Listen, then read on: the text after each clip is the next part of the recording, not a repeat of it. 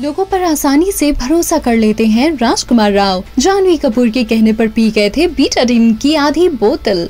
जानवी कपूर और राजकुमार राव फ़िलहाल अपनी film Mr and Mrs Mahi की सक्सेस एंजॉय कर रहे हैं। फ़िल्म रोही के बाद राजकुमार राव और जानवी की साथ में ये दूसरी फ़िल्म है। ऑडियंस ने इस पर मिक्स रिव्यू दिए हैं। वही एक्टर्स भी फ़िल्म का प्रमोशन करने में कोई कसर नहीं छोड़ रहे हैं। हाल ही में द कपिल शर्मा शो पर दोनों एक्टर्स दिखाई दिए, जहाँ उन्होंने फ़िल्म ऐसी जुड़े कई प्यारे प्यारे किस्से भी शेयर किए। जानवी कपूर ने राजकुमार राव के बारे में बात करते हुए कहा कि वो लोगों का बहुत जल्दी विश्वास कर लेते हैं। फ़िल्म रूही के दौरान हुए किस्से के बारे में बात करते हुए जानवी कपूर ने बताया कि एक बार रूही के सेट पर उनके गले में खराश हो गई थी और मैंने उन्हें बताया कि बीटारिन नाम की दवा आती है, आप इसे ले लेना। ये आपके गले की खराश को ठीक कर देगी। जानवी ने कहा कि सिर्फ़ इसलिए कि मैंने कहा कि तुम्हें ये लेना ही होगा। उन्होंने इसे लिया और पी गए, जबकि बीटाडीन से गरारे किए जाते हैं, पिया नहीं जाता।